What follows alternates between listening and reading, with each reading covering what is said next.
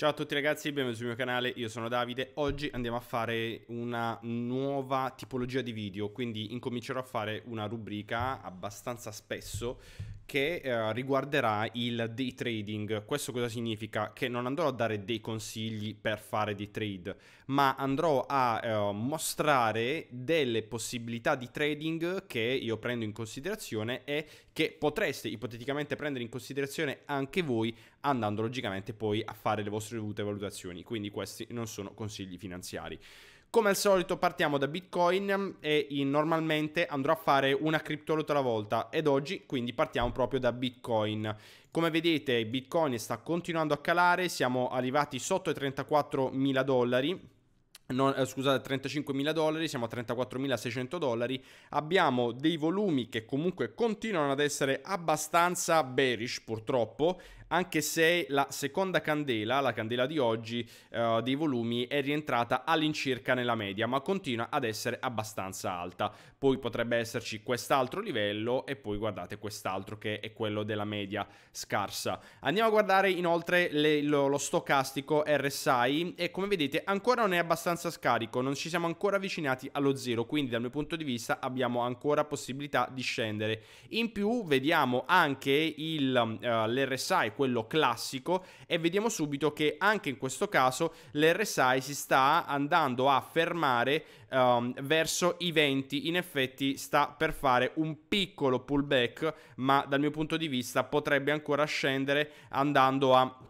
interessare la zona attorno a um, i 14-15 sullo stocastico. Uh, logicamente tutto ciò è uh, dovuto a diverse notizie che hanno purtroppo uh, dato una brutta svolta al mercato delle cripto come tutto il restante mercato. Abbiamo inoltre la notizia della Russia che ha bannato miner e anzi ha fatto una proposta di ban per tutti i miner e soprattutto per quanto riguarda il trading di criptovalute, ma mh, mm, ad oggi non abbiamo certezza certezza. Intanto hanno incominciato a vendere sicuramente i miner per quanto riguarda Bitcoin e vedremo come andrà a finire. Eh, noi abbiamo inoltre due livelli di prezzo da tenere presente. Il livello di prezzo dei 34.500 dollari, scusa, sì, 34.500 dollari, che è, um, no, ho dato una stupidaggine, dei 34.000 dollari circa, è così. 34.000 dollari, ossia questo qui, che uh, non è un vero e proprio livello di prezzo con un'importanza mh, nel, uh, grossa nel passato, ma è stato un top in questo caso, un, quindi un'altra resistenza in questo caso, un supporto in questa situazione, dopodiché andando a guardare in questo caso abbiamo avuto diversi supporti, dopodiché è diventata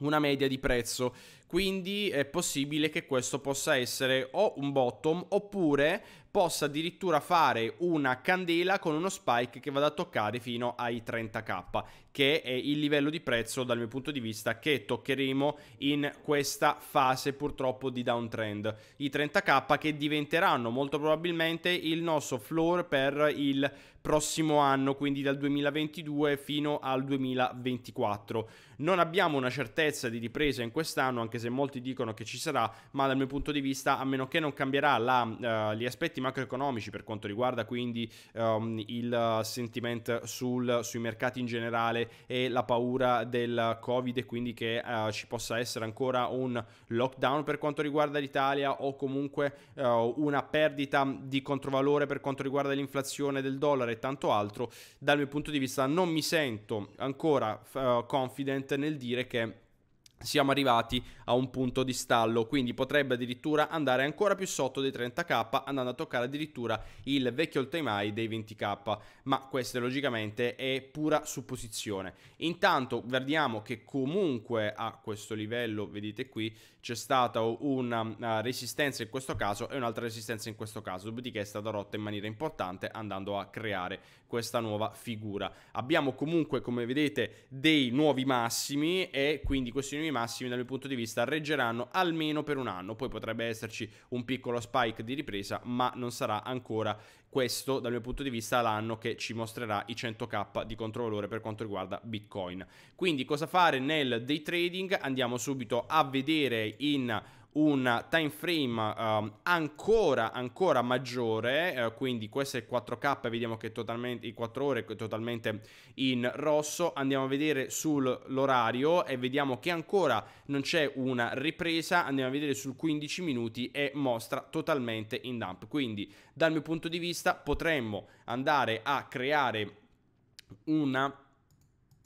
operazione in short che vada a mantenere questi livelli di prezzo, quindi andando ad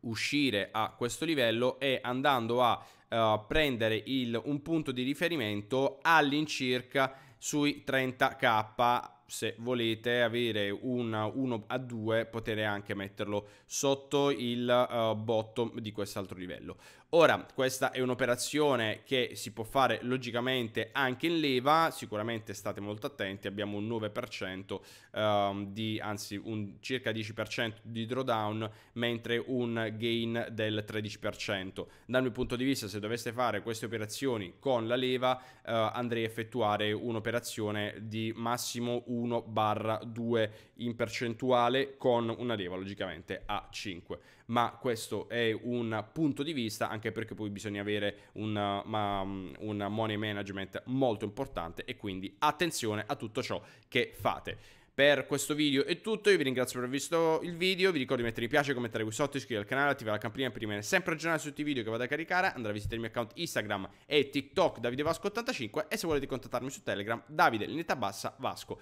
Per il, questo video di trading è tutto, grazie per aver visto il video e al prossimo video. Ciao a tutti!